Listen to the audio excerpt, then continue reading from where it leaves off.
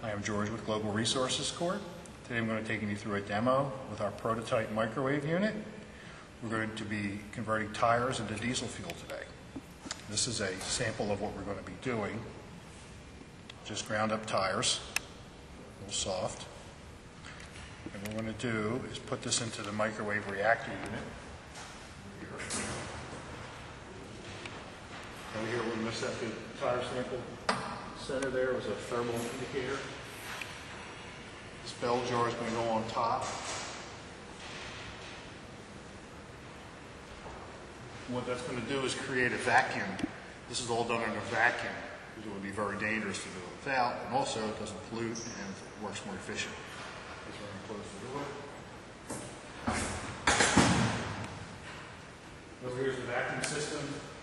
Vacuum system is on. Inside of this unit here is a condenser. Looks like this. The gasified hydrocarbons will go down through the condenser, swirling around. This is water cooled. We use actually an antifreeze solution so we can cool it below freezing.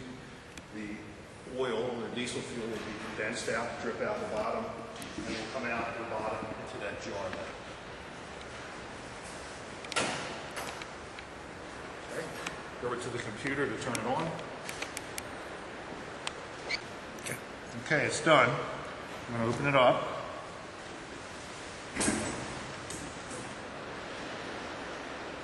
Okay. See what we got here.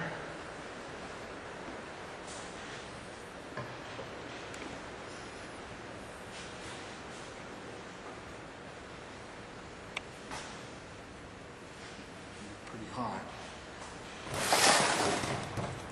Okay. Dump it out. You Still filming? All right.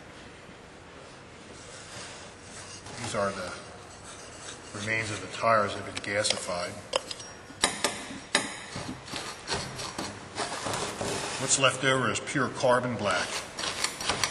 Carbon black is used in pigmenting plastics and also in making tires, so this product is saleable. Actually, it's pretty high quality carbon black. Perfectly done, there's no more hydrocarbons left in here. They've all been gasified. It loses approximately 60% of its weight and turns it to gases and oil. Over here in the condenser, take off the jar. Are you guys gonna do a burn? What we have here is uh, pretty high-grade stuff, mostly in the diesel fuel range. That came from just 100 grams of tires.